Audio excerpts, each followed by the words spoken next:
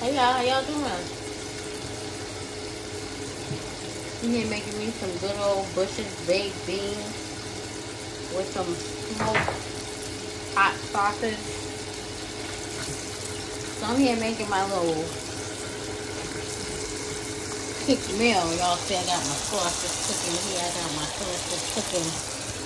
And I was thinking, that Amber Heard and Johnny Depp trial, man, I wasn't watching it from the beginning, and I've only watched maybe like, I've watched her testify a little bit, and I watched Johnny testify.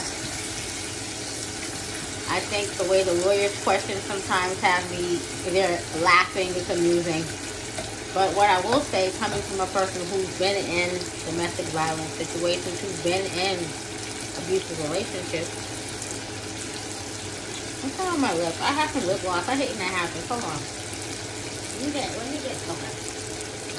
I hate when y'all know I hate when that. Me go wash my hands real quick. But yeah, coming from, um, relationships myself in the past, I feel like both Johnny and Amber were abusive to each other. They were both abusive. They were just in a toxic relationship. Period. This dismissed the whole case or reward each other damages and don't nobody come underneath this post talking about how dare you justice for Johnny or justice for Amber like they both fucking were fighting each other and they both were fucking crazy period I've been in relationships like that where I was like, I've been in that those type of relationships. I know how it goes. What do they call it? It was like something had like some type of attachment and shit. It was like a toxic fucking attachment. They both probably are fucking like narcissistic They both have probably narcissistic ways about them. Shit, I honestly can say I probably got a little narcissism in myself. And so did my exes, the ones that I would have those toxic relationships with. So, it is what it is. But I've grown.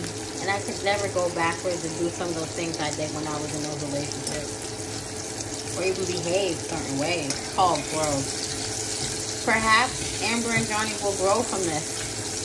I mean, they're exposing all their dirty, crazy. When I think about it, like, y'all was only married for a short time. What the fuck? What was y'all doing? Like, it was drugs and drinking and sex and fucking all kinds of crazy shit going on. Like, that's what, that's that Hollywood lifestyle.